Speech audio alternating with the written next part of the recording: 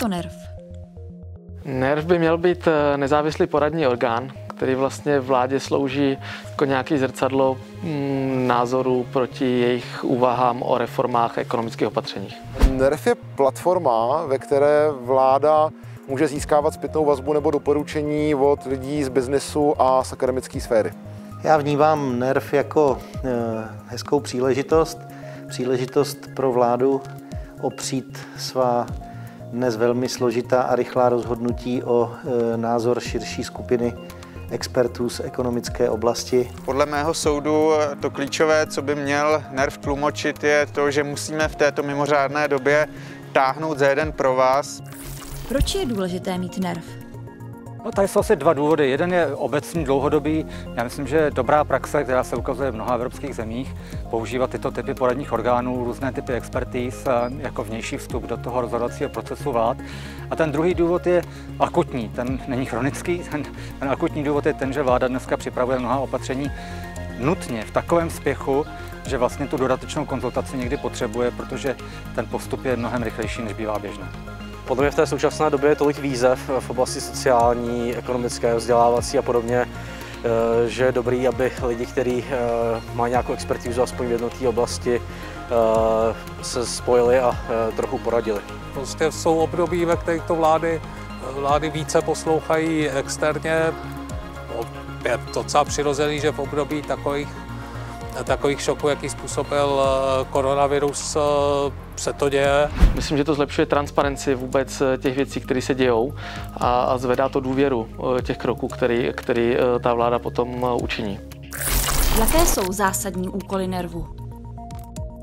Být opravdu těmi nezávislými partnery vlády, pokud bude zapotřebí konstruktivními oponenty, a předpokladem je, tím druhým předpokladem je ochota si opravdu vzájemně naslouchat. Za prvé krátkodobé, to znamená v horizontu týdnu pomoci dostat do české ekonomiky peníze, zachránit podnikatele, zachránit firmy, eh, zachránit eh, prostě to, aby jsme se nepropadli do hluboké recese. Za druhé nějaký střednědobý horizont, eh, jak tu ekonomiku stabilizovat po úderu koronaviru. A za třetí zamyslet se až třeba do roku 2030, jak využít té koronavirové krize a udělat z ní příležitost, která umožní dostat českou ekonomiku na vyšší vývojový stupeň digitalizovat ji, zeštíhlit třeba státní aparát a tak podobně. V této chvíli NERV určitě řeší kombinaci těch různých nouzových opatření. To znamená uh, Kurzarbeit, pomoc zaměstnancům, pomoc živnostníkům, ale uh, i firmám. Zároveň je potřeba taky dávat pozor na to, aby ta státní pomoc nebyla zneužívána. Jedno z velkých mých témat je dobývání renty a myslím si, že bude potřeba opravdu urgentně jednat a pomoci těm nízkopříjmovým skupinám, hlavně zaměstnancům, kteří jsou dneska trošku stranou. My jsme se rozdělili do čtyř pracovních skupin. Já jsem v jedné, které se týká především hospodářské politiky a ty úkoly si, eh, jsme si rozstřídili tak do tří fází, které se odlišují časově. Proč jste do nervu vstoupil vy osobně?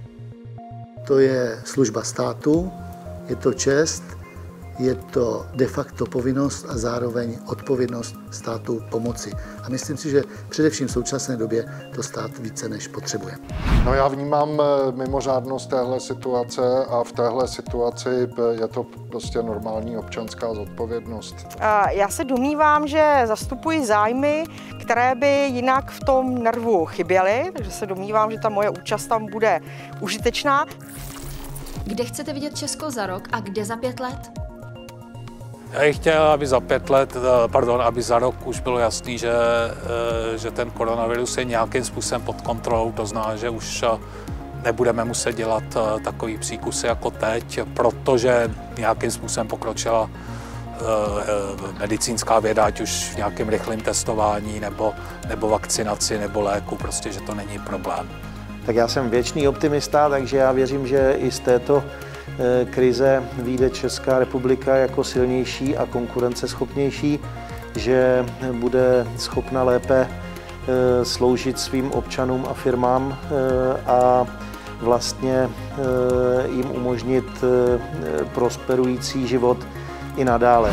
Za rok bych chtěl vidět ekonomiku, která se dostala z té krize doufám, že prostě budeme už zažívat za rok docela robustní oživení. A druhá věc je, že si z toho vememe ponaučení. Tak já bych chtěl Českou republiku za pět let vidět jako úspěšnou, prosperující zemi s moderním průmyslem založený na moderních technologiích, na digitalizaci a na významném pokroku a přidané hodnotě. Ono se říká, že každá krize je příležitost, takže já doufám, že to je příležitost k tomu, aby jsme se odpoutali od té ekonomiky levné, založené na levné práci a na malé přidané hodnotě a zkusili se posunout k ekonomice, která bude tvořit vyšší přidanou hodnotu. Já si myslím, že za rok by byl úspěch, kdybychom měli omezenou nezaměstnanost, eh, kdyby eh, firmy neskrachovalo moc firm, které jsou v podstatě zdravé. Ostatní to využili k nějaké restrukturalizaci svého působení. Já bych si hlavně přál, abychom opravdu byli z toho nejhoršího venku, aby občané neměli obavy a strach o zdraví, o existenci. A v takovém tom dlouhodobém pohledu eh, my prostě žijeme v době, která už eh, a ve světě, která už prostě nebude jinak, ve světě, který je nejistý, který je komplexní, který je opravdu plný nenadálých eh, změn. Asi budeme vidět trošku vyšší nezaměstnanost, to znamená, aby ten nárůst nezaměstnanosti byl co nejmenší. A chtěl bych ji vidět už jako zemi, která se vrací k těm úkolům, které tady byly mm, ještě před krizí, to znamená, aby investovala, investovala a zase investovala.